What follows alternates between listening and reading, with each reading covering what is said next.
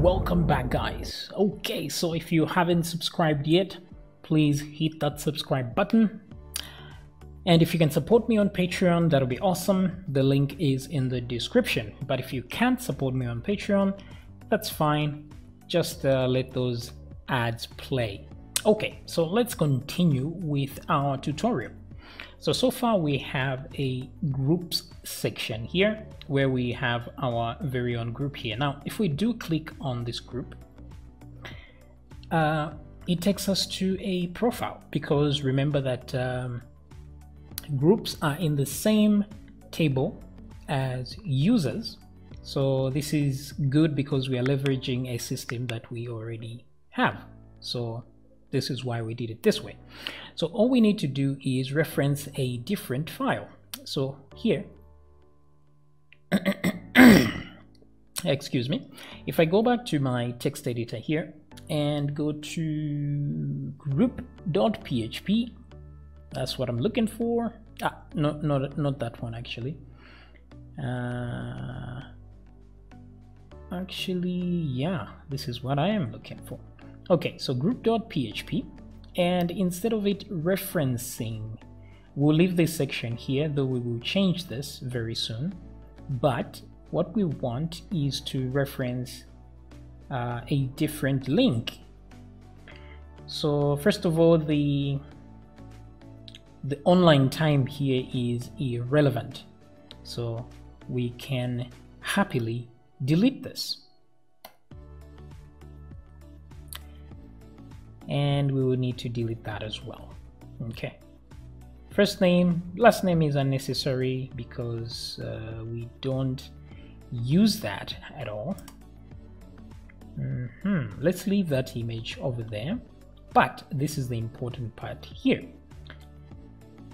So here we will have um, instead of a profile let's have a group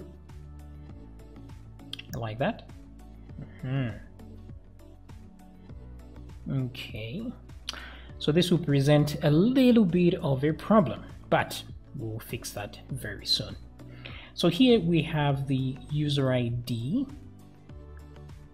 of the group that we are going to open.